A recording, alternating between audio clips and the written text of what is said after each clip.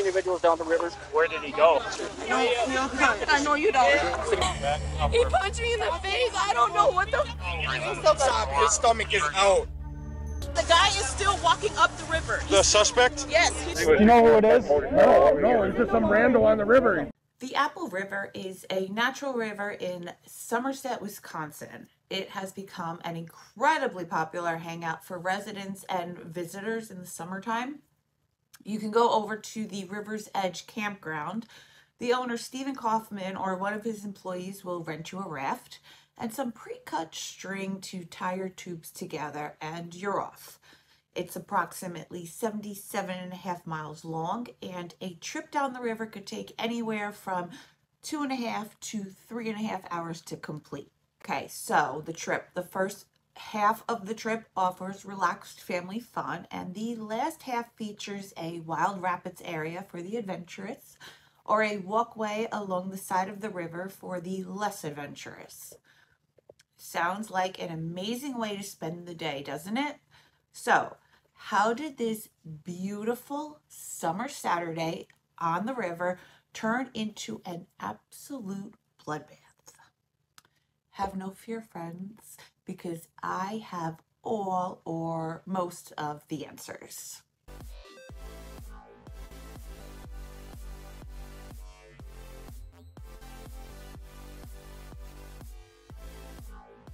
Hi guys, welcome or welcome back. Thank you so much for being here. It's so greatly appreciated. It truly, truly is. Before we get started, let me give you my usual disclaimer.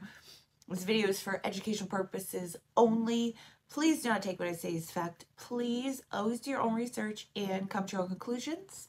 Next, please like, subscribe, and comment if you haven't yet because it really helps me out and I really, really appreciate it.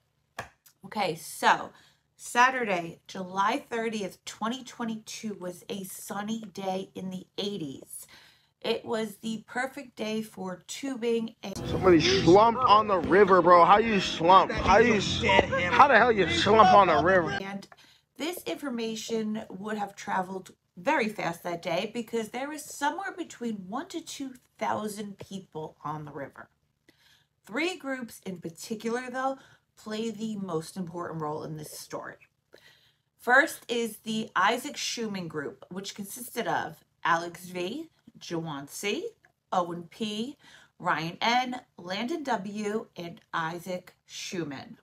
Then there's the Carlson group, which consisted of AJ Martin, Madison Coen, Quentin Carlson, Dante Carlson, Tony Carlson, Gabriella Kay, Janelle Duxbury, and Ryhley Mattison. And finally, the Nicolae Miu group, which consisted of Ariel, Gilma, Eric, Nicolae Miu, Sandy Miu, Rosie, Ernesto, Amanda, Tatiano, and Sergio. Okay, so let's talk Nicolae Miu. Nicolae was born in Romania and immigrated to the United States when he was 15 years old. This is not a stupid man, okay? Which is why I seem to be constantly asking myself why he didn't just walk away from this whole situation. He speaks five languages Romanian, Russian, French, Latin, and English. He attended college in South Dakota and went on to become a mechanical engineer. In 2020, Nicolae had a heart attack and he required quadruple bypass surgery. According to his wife Sandy, this may have contributed to one of the reasons that he pulled out the knife that day on the river. He's also had two hernia surgeries and back surgery.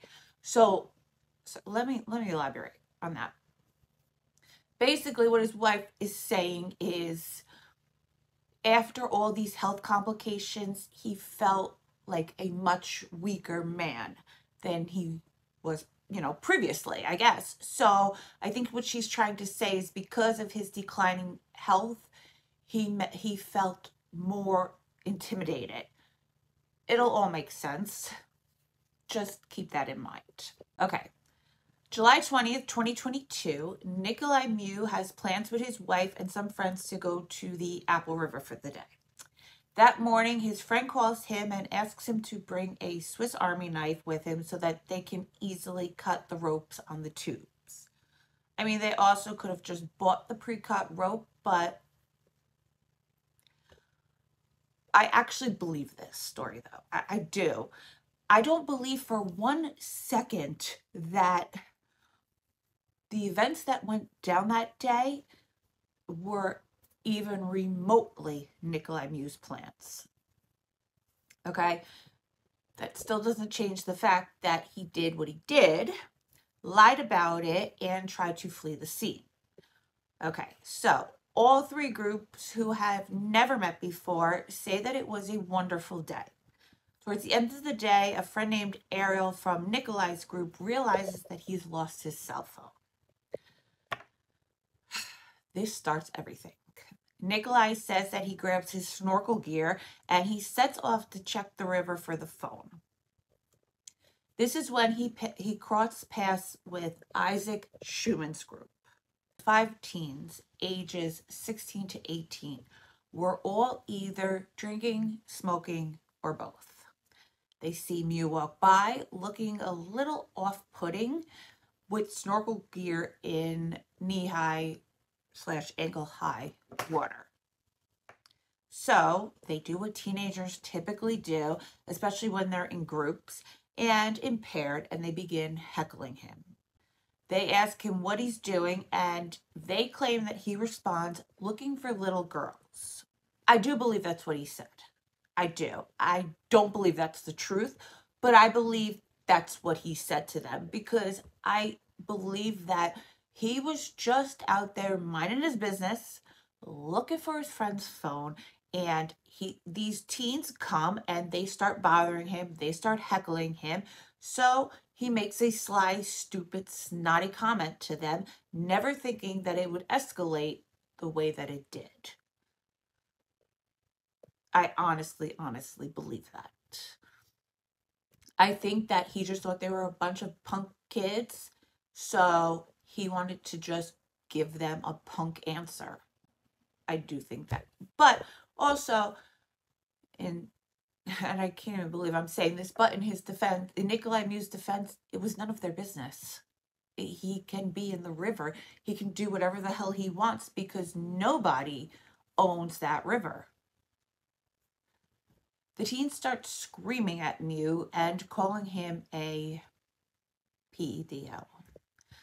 It's at this point they get the attention of the Carlson group and slowly more and more start walking over to help and or watch what's happening. Madison Coen walks over first and she begins screaming in Nicolae's face to walk away and leave. Who is that? Who is the culture? Who is that? Who the hell is this? Go. Go. It doesn't matter. Go. He Go. said he was looking for little girl.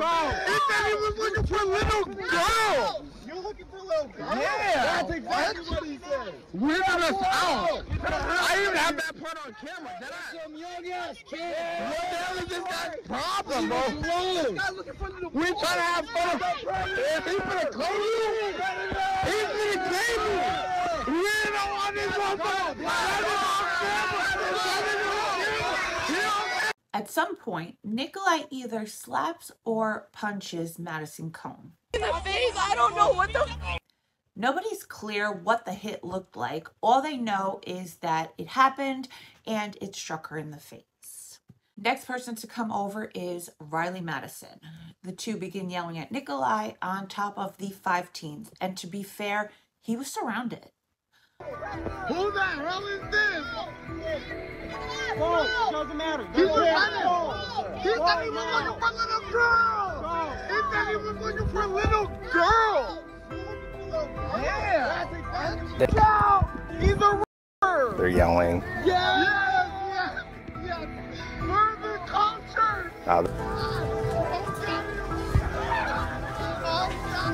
On the flip side of this, there was more than enough open space for him to turn and walk away. And that would be part of his downfall. On the other hand, the teens and the Carlson group could have also walked away as well. You're talking about a big, huge river here. Everybody could have turned around and walked away. In truth, everybody that was there that day played a role. Not everybody that was there that day. I take that back. Everybody that was involved that day played a role in what happened, and they're all at fault. Everybody. They all could have done something differently, but hindsight is 2020 and I don't think anybody ever ever ever believed shit would go down like this. Okay, what's more alarming about the whole thing is that everybody changes their story. Madison Coen was the first person from the Carlson group to walk over to the teens and Miu. Madison is one that has changed her story. Some friends say he punched her. Madison says he punched her. Others say he may have slapped her, not punched her. That's not to say that it's any better. He still put his hands on a female. But it does call into question if people's recollections are a little clouded due to the alcohol and the smoking consumptions. She also doesn't remember which side he punches her on, which is crazy because how do you not remember? During cross examination, they ask her. So he throws it with his left. He throws a hook with his left hand, right? Mm hmm. Yes. And I think you testified he hit you on the left side of your face. Yes. Okay. So he hit you on this side of the face, right? Describe how that's humanly possible. I actually do get my lefts and rights mixed up a bit. Here's the other thing about the punch. She says that Nicolae punched her, yet she never tripped and fell in the water, never dropped her phone, and never dropped her alcohol. On top of this, she claimed that she'd taken pictures of the marks, but claims that she deleted them from her phone. Police informed her that they have the ability to do a forensic download of the phone. Madison agrees and she hands over her phone to police. On the stand, the prosecution asked investigator Mitchell if he found any deleted photos of Madison's injuries on her phone, to which he replied that he did not. The other female at the center of this story is Ryhley Mattison. So Ryhley first spoke to news outlets while still in the hospital. I was punctured a little bit in my left lung, and then he kind of messed up my diaphragm. So I actually have about 30 staples going from my belly button up my stomach, um, where they had to go in to fix my diaphragm, and then they had to put in a chest tube, and then I did have a nose tube that kind of went all the way through. So I'll kind of give, like I said, this is my side of the story. This is nobody else's. Um, and to be honest, I was drinking that day, so things are blurry. I don't have a whole lot to say because I was the first victim. So I kind of just had paid attention to myself at the end of it. Um, but I will give, from what I'm aware of, what happened. Um, so we were tubing. I was probably with about 10 other people, um, a mix of girls and boys. And one of the boys, when we were tubing down the river, had said that a group had looked uncomfortable. And I don't recall if it was like, a, I thought it was a group of girls that they had said was uncomfortable. Um, so my other friends and I just kind of hung out on the tube. A couple of the boys left to go kind of see this group and figure out what was going on. Um, and it was a little bit of time. I don't know how much time like in between, but finally I was like, all right, like let's go see what's going on. Um, I asked a couple of my girlfriends to come with me. Um, we went over to the group, and I don't know who had said something, but somebody had mentioned something about there being an older man there, and they thought he was kind of creepy, being a little weird, asking for like inappropriate things, like for younger women and things like that. That's what I was had heard. I don't know if that's exactly true. Um, but after that point, a friend of mine had kind of, I think, went up to the older man or he came up to us. I don't know that exact point. Um, but she had told him, You need to leave. Like, you need to go. You need to get away. And he kind of stood there for a second and then punched her in the face. Um, and after that, it was still a little bit blurry for me. I'm still trying to put those pieces together. Um, but what I remember is I'm like, oh my God, like, are you okay? Like, that was like not what I expected to happen to you. Um, and then I don't know if I said something to the older man. I don't know if I had hit him because I was upset or if somebody else had came and hit him. But I just remember him kind of turning towards me and we're both kind of staring at each other, probably a couple feet away from each other at most. Um, and he kind of just stared at me for a second and he pretty much like not like lunged at me, kind of just like leaned forward a little bit. And I thought he had punched me in my stomach. Um, and I'm like, oh my goodness. Like I was telling my friends, I was like, I think he he punched me really hard. Like this feels weird. And we both had looked down and I instantly was bleeding. Um, I obviously was stabbed like instantly. Um, I didn't really see a knife. I recall maybe something kind of poking out of his fingers, kind of like this, um, holding down by his side, but I don't recall for sure if it was a blade or not. Um, my friend instantly, you know, saw that I was bleeding out and yelled to my other friends, "You need to call 911." And to be honest, after that, no idea what happened. Um, I remember holding my wound, kind of walking around, like just kind of like asking everybody, like, "What do I do? Do I walk? Do I go find help? Do I lay down on a tube? Like, I'm, I feel like I'm dying. Like, what do I do?" Everybody's like, "I don't know. Like, I don't know what to do." Um, I honestly didn't even know anybody else was stabbed. I was not paying attention to any of that. I was focused on myself because I was so scared and just so worked up and anxious. I honestly have no idea. Like I said, I was drinking, so like I wasn't even focused on what was going on. I just remember them saying that a group had felt uncomfortable, kind of just hanging out for a second and then getting off my two, our two ourselves and kind of going over there. But it's it's really a lot blurrier than I thought it was going to be for me. I try to every day I try to put some more pieces back together, and I just I can't. And did he go and like cold cock that girl from your memory, or was she just lipping off to him? Like did you, all of a sudden you just see the punch get thrown? Pretty much, I just remember her saying like, "You need to go, like go, like go," and he literally just boom. At first, I thought he had slapped her because I was, like I said, I was just kind of not comprehensive. But no, he he did um, end up punching. So I'm pissed. I am very, very, very, very angry because I have to almost like relive my life and relearn how to live. I have to, I mean, I have to have people help me shower, go to the bathroom. Um, it's, I, I choke on water sometimes, like just like every little thing like that. It's just, it's insane that you, things can escalate so fast and that people just don't care about anybody in this world. And the, the world is just getting sadder and sadder. It's, it's a very very scary place to live in and it makes me want to stay home for the rest of my life. So i'm more i'm more angry than i am sad. I mean i have my moments like i said but i am very very angry. I mean i'm very happy that i was able to kind of go over and help the situation but i'm kind of angry at myself at the same time for even getting involved By the time it got to the trial, Ryhley explains that at first she was just watching, incredibly confused about what was going on.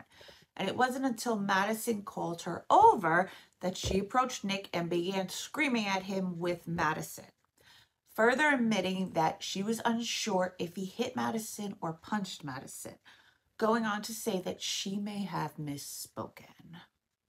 Ryhley, what are we seeing in this?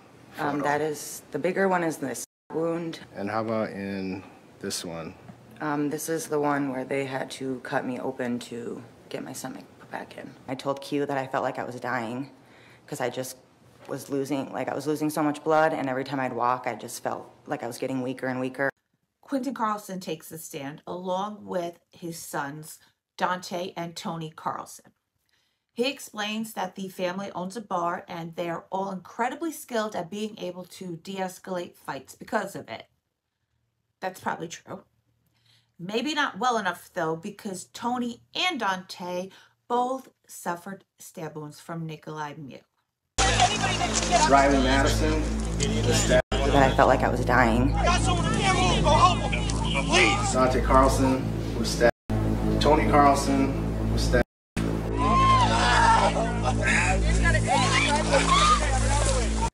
AJ mm-hmm. Martin, who was part of the Carlson group, was also by Miu that day on the river.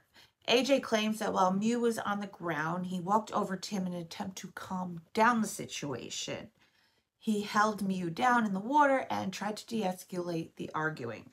saying he planned to let Miu back up once the situation calms down. AJ would also get stabbed by Miu while trying to help. He may have gotten it worse though, minus Isaac Schuman, of course, which we're going to get to. AJ says on the stand that at one point he was holding his insides in his hand. I don't know. Uh, it's. Uh. Look at me. AJ Martin was My stomach was open and my intestines were in my hands. Last but definitely not least is 17 year old Isaac Schuman. Isaac was on that river that day with his friends and is one of the reasons that this whole situation escalated. That is not me victim blaming, by the way, but it's just the truth. It's all on video. While Isaac never, ever, ever deserved what happened to him, nobody deserves that. If we're being honest, it was the teen boys that began heckling Miu. It was the teens that called this man a PEDO and an R worder. It was the teens that screamed loudly to draw the crowd. It was the teens that told the Carlson group fabricated story to get them angry and to get them to gang up on Miu with them. They taunted him, they bullied him, they shamed him, they belittled him, they ganged up on him, and they essentially jumped him. I have to be honest and tell you that I have some compassion for Miu, and I don't typically have compassion for perpetrators. This time I, I do. I do. I think that uh, if everybody would have just minded their own damn business, none of this would have happened. And it, that just sucks. It sucks incredibly. But regardless, Isaac, 17 year old Isaac, lost his life and he did not deserve that. Nobody deserves that. Madison never deserved to be hit or slapped by a man, and AJ, Dante, Tony, and Ryhley didn't deserve to be stabbed. Isaac was just getting ready to start his senior year in high school. He was living in Stillwater, Michigan with his mom, stepdad, brother, and stepsister. He had also began a detailing business for cars and boats. The kid had ambitions, and I'm sure he would have made his parents really proud. He was described as a mother's dream. He loved school and he loved learning. He played the cello and the piano, and he had a deep passion for sports. Now he's gone, and lives are changed forever for a stupid fucking reason. Isaac's mother says that justice would be her getting her son back, but we all know that's just not humanly possible, and it's absolutely tragic. His mother goes on to say that she hopes this monster suffers as much as I do every day until he goes to hell. The screams and the pain that you hear from the teens when they realize that their friend is gone is absolutely gut wrenching. It's incredibly hard to watch, and I am confident that this situation is going to follow everyone for many years to come. One of the teens breaks down on the sand when he talks about the river turning red. It also very much seems like the teens thought that they were making like possibly a viral video by doing this, never imagining that it would take the turn that it did. Nicolae Miu would end up being found guilty on multiple charges and was sentenced to 20 years in prison for the death of Isaac. Five years each for three counts of first degree recklessly endangering, endangering safety.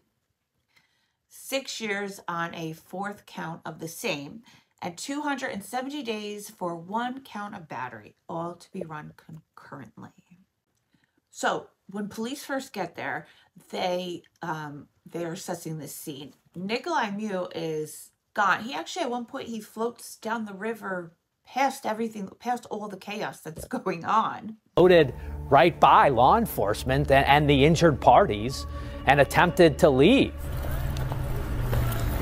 Chain matching. What's your name? Nick. Nick what? Nick Miu. Somebody, I hear somebody got stabbed. Um, and I fit the description. Yes, you do. The first. Um, and he's trying to I guess he's trying to get out of there as quickly as possible. But there were photograph police end up getting their hands on a photograph of him. They run into him and they stop him. Where'd the suspect go? I don't know. No, but we got. She got stabbed. Her right there, she got stabbed. Okay. And there's two down there yet too. Slit from here to his chest, his closed. The other one is slit in the chest with one stab. in the- in the. Three down there? Guy is still walking up the river. The suspect? Yes, he's, he still had his knife out. He was still standing up the river. 4502 dispatch. Just received information. Suspect still has the knife and heading upriver on foot. Do you know who it is? No, no, it's just some rando on the river. They're at. I need to grab my rifle. I'll be up there in a second. I don't know. Yeah, it has to get some witnesses. I, I started asking if there's cell phone footage. One thought they One guy back there had it. Yeah. Okay. Uh, Does, where did he go? You got a video of the suspect? I don't got a video of the suspect. I got a video of like the aftermath. Okay. He goes down to the police station to be interviewed and he lies. Lies, lies, lies. I just know that I took the knife from from one of the kids. I was in self-defense. I went into self-defense mode. We ate well. We had music. Everything was so good, so good. See, it was a, uh, it was self-defense. Self-defense. There were lots of people uh, that came on to me. I didn't even, I didn't, don't even know what happened. I just know that they, they attacked me and I had, I was in self-defense. I went into self-defense mode. All I can say, it was a, uh, it was self-defense. Self-defense. There were lots of people uh, that came on to me. And one had it in his hand, so I took his hand and I bent it and I poked him with with his own hand. And then I I took it from his hand and then I, I went and swung like this. So I don't know who I hit. I just know I just know that I took the knife from from one of the kids. When You spoke with Brandy Hart. Were you truthful to her about the knife?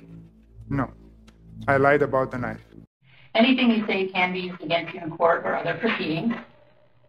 You have the right to consult an attorney before making any statement or answering a question, and you may have him or her present with you during questioning. I was so fearful.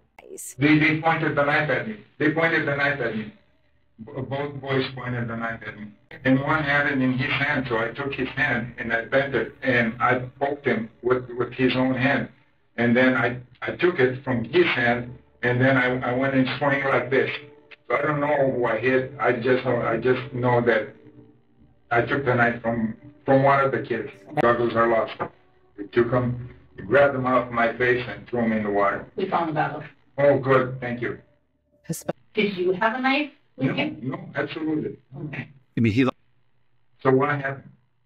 Can you tell me what happened? Yes. Um, four people went to the hospital with injuries, Oh my God. and uh, one person died. Oh no. I don't know any of their names, and I don't know any genders, so I, I don't. Was know. that because they fought each other, or is I that don't the? know. I don't know. I don't know what their injuries are. Yes, he's lying. Yes, he's lying to police in his interview. Up until the point where he finds out that there's a video. Because at first he had no idea that he was being videotaped. I guess everything was going happening so fast, maybe. There was so much going on. He never realized that he was being videotaped. If you guys are still here, thank you, thank you, thank you. I love you and I appreciate you so, so, so very much. Please like, subscribe, and comment if you haven't yet and you feel so inclined to because it really helps me out and I really, really appreciate it. And until next time, stay safe out there.